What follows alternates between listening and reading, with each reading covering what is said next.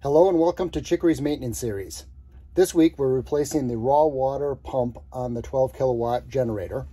In a previous video you saw me rebuild one of the ones that I had as a spare and I wanted to make a little note about those spare pumps. The reason I had so many is uh, this is a newer generator. Uh, I installed this in 2018 but from 2000, I'm sorry, from 1989 when the boat was new to the point where it was um, replaced in 2018, the old generator's pump was so close to this uh, bulkhead that there wasn't enough room to actually get a tool to pull the impeller. So what I did is every time I needed to change the impeller, I just literally changed the pump. So I kept um, two pumps and I just kept on flipping them out every time I needed to do that. So that's one of the reasons why I have so many of these pumps. Now, uh, obviously, when I put this new generator in, I moved it back a little bit, so I have plenty of room. Um, the only thing that you can see in the background here is this is my um, 105 gallon per minute, um, 230 volt crash pump um, that pumps out inch and a half hose uh, under 100 PSI. It's absolutely fantastic. I'm going to do a video on it, but you can see it back there. Anyway, the first thing I need to do is I have an outgoing and an ingoing hose. I'm going to take those off and then I'll be back with you in a minute. Before I remove the hose clamps, I put a bunch of towels down. Even though I have the uh, raw water um, seacock closed, I'm obviously still going to get some water draining out of the system. And so I want to capture as much of that as I can with these towels. So that's the whole reason behind putting these here. Now I'm going to loosen these and pull this hose off and then the upper hose as well. So I'll do that and I'll be back in a second. So you can see I have the hoses off. I have this one just set aside. It's dripping just a little bit and the uh, raw water pump is dripping a little bit, but it's all being absorbed by the um, towels.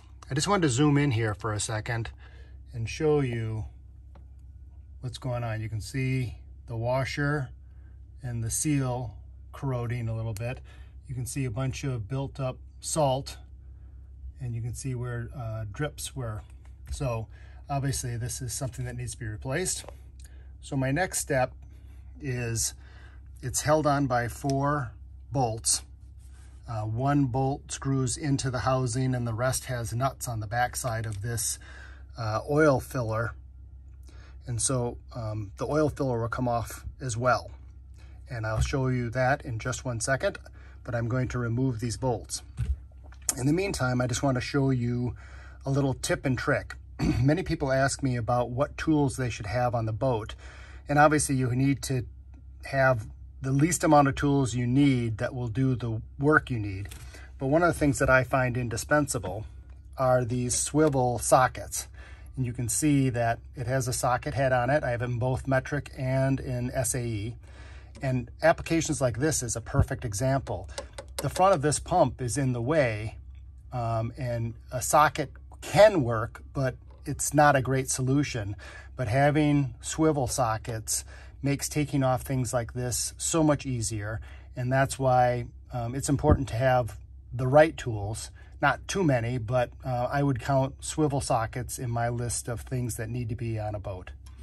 Um, I'm gonna take those four bolts out and I'll be back in a second. Okay, so I just removed the four bolts and I just wanted to show you a couple things. Once again, the filler comes off.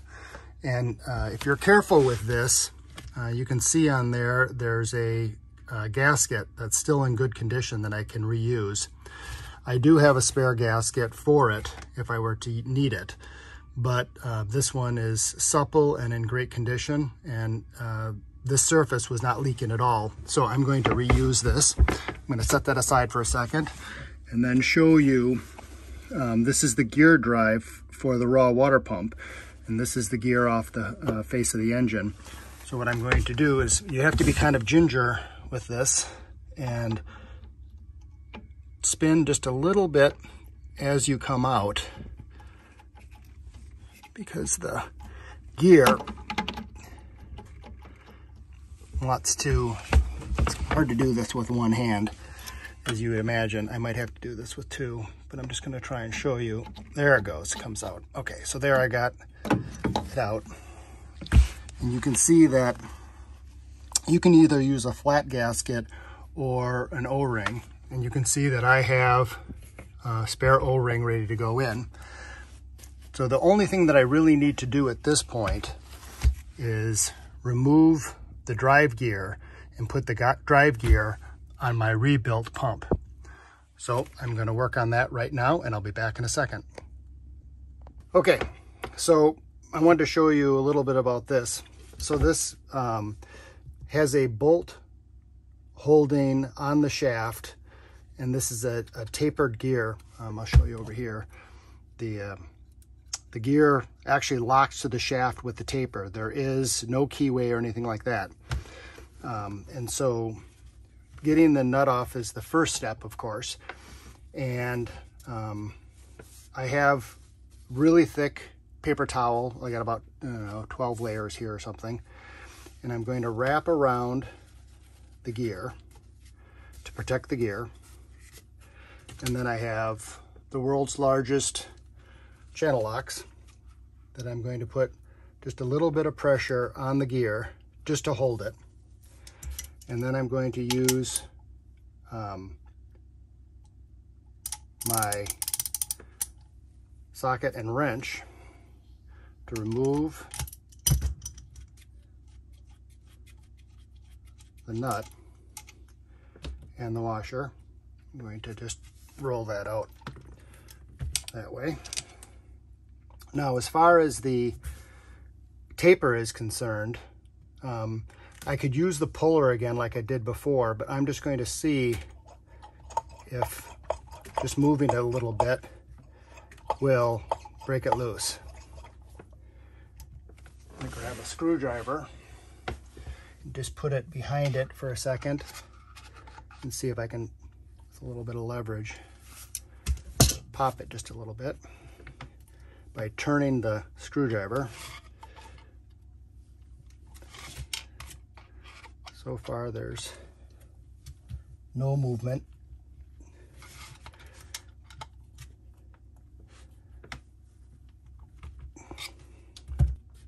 I tried to quickly remove this um, and I was just trying to see if it would come off easily, but you know what, the right thing to do is to use the puller and you can see that I can get in behind it, but I will have to use the beveled edge. So I'm just going to take off half of this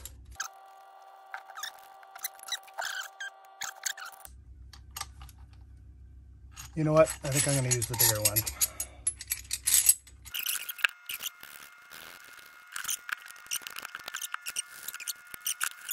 Tight. I'm just going to show you from a side view where I am. So this goes right down onto the shaft. The splitter is around the back side of the gear. I'll show you this view because it's a little bit more interesting. And then I'm going to there it goes.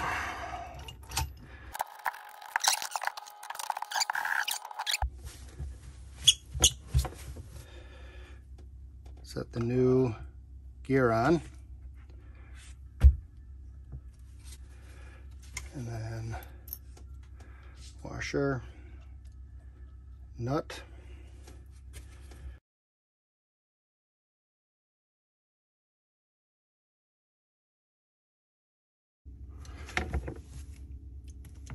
okay, so I'm, I have everything apart again. What was happening is the nut, um, when I try and thread it on, it, it wants to go on crooked. I don't know if you can see that, but it's crooked. So normally um, when you thread a shaft, that it's tapered just a little bit at the end so that it threads correctly and something's going on with the end of this. Um, I'm going to zoom in. I don't think you'll see anything, but um, it's it's just really tight right here. So I'm going to um, protect this bearing with some paper towel. is I'm going to take a machinist file and just chamfer this a little bit to see if that works better.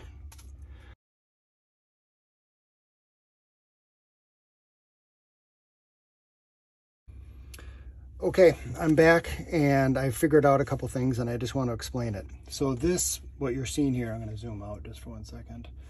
You're seeing um, the third pump I have. Um, and this one I had rebuilt in the past and had been storing it before I rebuilt this one. And I wanted to show you on here, I'm going to zoom in again, how the end of the shaft is tapered. It's got a little bit of a 45 degree angle on it. And you can see that I can spin the nut on perfectly easily. Everything's perfect the way it should be. The white one uh, that I just rebuilt, I've been working on for quite some time. And you can see that I put a taper on it and tried to clean up the threads. But no matter what I did, including trying a die and tap for the uh, nut, I just could not get this to go. So I started looking at it and I don't know if you can see it on here, but so if I put a straight edge, um, the, the edge of the taper, I'm gonna take a bolt over here, the edge of the taper right here, the straight edge touches it and then goes along the threads. If I go to this side, you can see it hits the threads, but there's an, a light gap actually a pretty significant gap between this part of the taper and the straight edge. Uh, I can't actually push it over. And you might be able to see it here, but but this end, this this part of the shaft is bent just slightly. And I think that's what's causing the issues. Um, I'm going to not spend too much time with that. I'm just going to put this one on uh, for right now. So one last comment about this white one, and that is that um, when I took this off and I was taking this nut off of the shaft, it came off really, really hard. And I wasn't sure what was going on, but I do remember this being kind of wonky when I took it off. So I don't know if it was bent. I, I don't know. Anyway, so I'm going to set this aside. I'm going to move on to this one. So it's pretty much impossible for me to show you putting this on with one hand holding the camera and there's not enough room for a tripod.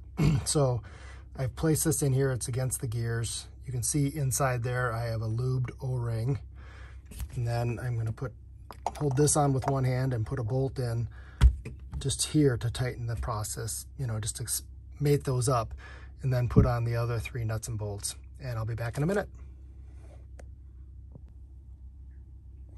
So all the bolts are on.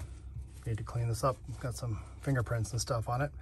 But I'm gonna put the hoses on and then start it up and test it. I'll be back in a minute. Okay, so it's in and tightened on and the hoses are on. So I'm going to start up and test run it. I'll be back in a minute. So,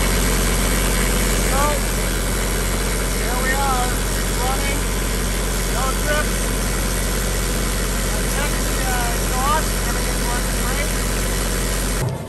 So there's the uh, exhaust. You can see that it's spitting out plenty of water. Everything looks great. So with that, I'm going to end this video. And I want to thank you again for liking, subscribing, commenting, and viewing. Until next week, thanks a lot for being here.